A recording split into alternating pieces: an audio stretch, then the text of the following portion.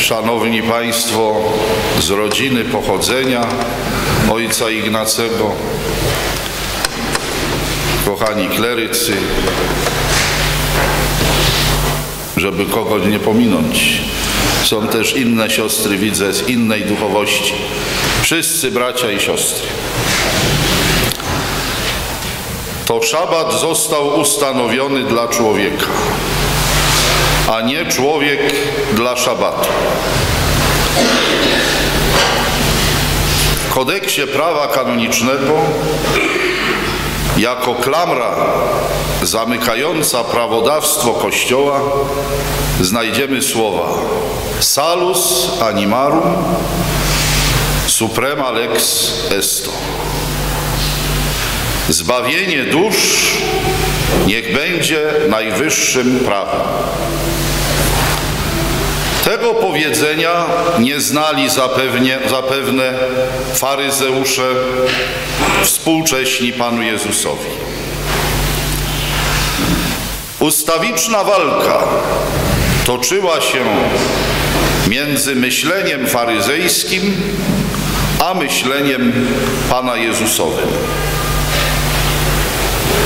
Oni, hipokryci, wypomnieli, że przecież uczniowie Pana Jezusa znieważyli szabat, bo pozwolili sobie zrywać kłosy. Ale nie pamiętali, że król Dawid, gdy był głodny, naruszył większe prawo szabatu, bo jadł, wszedł do miejsca świętego i jadł chleby, które tylko kapłanom jeść wolno. Interpretacja, egzegeza prawa mojżeszowego w wydaniu faryzeuszów była niepoprawna i nie służyła celowi, któremu, któremu służy prawo mojżeszowe, jakiekolwiek prawo. Pan Jezus nie znosi prawa, bo mógłby tak ktoś pomyśleć, że lekceważy przepisy drobiazgowe, szczegółowe prawa, prawa mojżeszowego. Nic podobnego, zresztą sam o tym powiedział. Nie przyszedłem znieść prawa, ale je wypełnić. Pan Jezus tylko stawia prawo w odpowiednim miejscu w hierarchii stawia je na służbie człowiekowi. To nie prawo jest celem samym w sobie, ale człowiek jest celem, któremu prawo służy. Nawet jeśli to prawo odnosi się do człowieka w sposób surowy, wymierzając sprawiedliwość, na jaką tenże zasłużył. Ono też wtedy, w takiej sytuacji, stoi na służbie człowiekowi. Moi kochani, dzisiaj obchodzimy 33. rocznicę śmierci waszego protoplasty, ojca Ignacego Posadzego. Pamiętam dzień pogrzebu 33 lata temu. Byłem wtedy klerykiem w naszym seminarium arcybiskupie. Uczestniczyliśmy całe seminarium we mszy świętej pogrzebowej w tym kondukcie, który szedł tu stąd z tego domu do katedry. Pamiętam taką trochę zabawną sytuację z tego wydarzenia, mianowicie byłem pewnie wtedy na pierwszym albo drugim roku, więc jeszcze nie mieliśmy sutanny.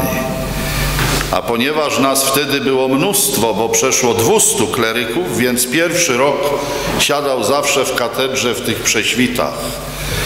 Nawet na sumie niedzielnej nie było miejsca dla nas w prezbiterium. I tak też usiedliśmy w tych prześwitach, a obok mnie siedział kolega, dzisiaj wybitny kanonik i proboszcz diecezji kaliskiej, którego Pan Bóg nie obdarzył zbyt wysokim wzrostem. I kiedyśmy się tak rozsiedli w tych prześwitach, o ile tam rozsiąść się można, przyszły jakieś poważne siostry misjonarki i nas wygoniły. Ja mówię do tego kolegi, to przez ciebie, bo one myślały, że my ministranci. To jest takie wspomnienie, które mi zostało w głowie, wcale nie najważniejsze na dzisiejszy dzień.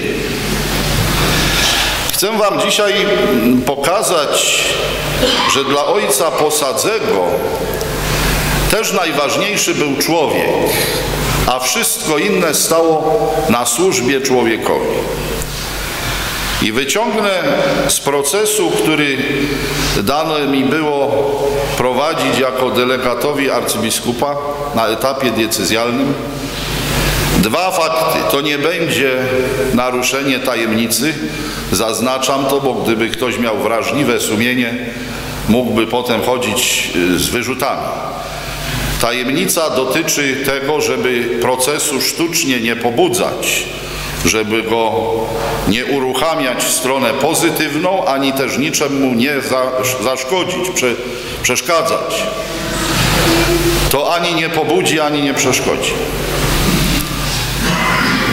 Pierwsze wydarzenie to zeznawała osoba, która wspominała ojca Ignacego z czasów swojego dzieciństwa.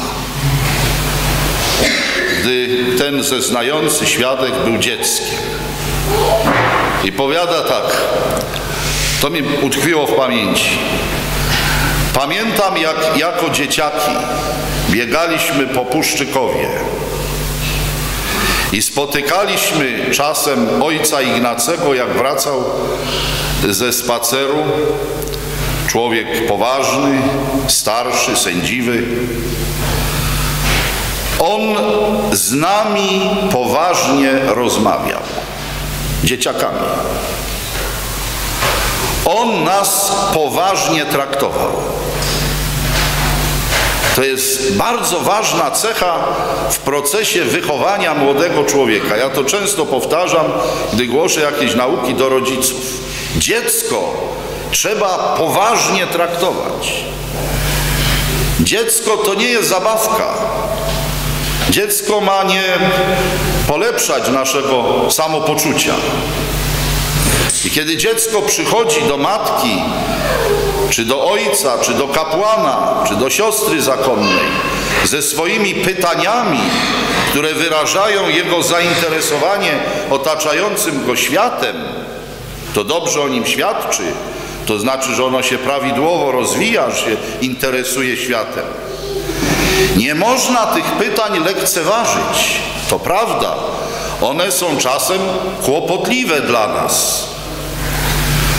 Ale nie można tego bagatelizować. Daj spokój. Dowiesz się później.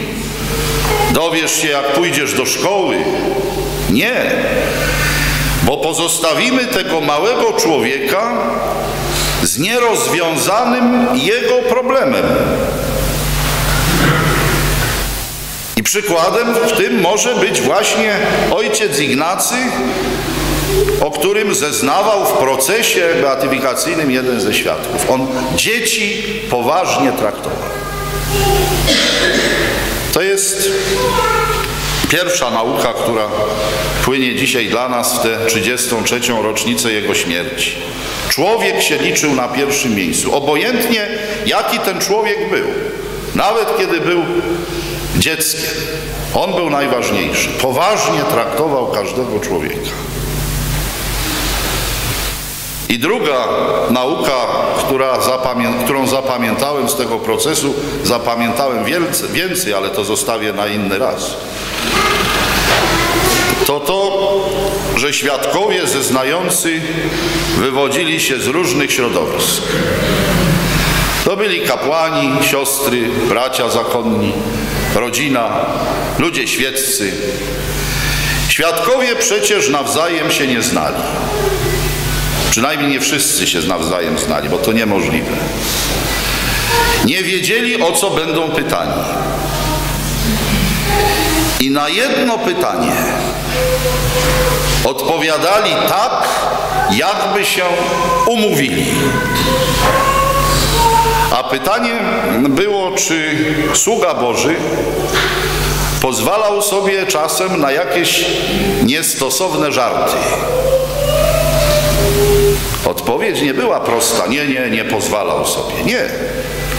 Odpowiedź była, on nie tylko, że nie pozwalał sobie na takie niestosowności, ale w jego obecności nikt by się na takie coś nie odważył.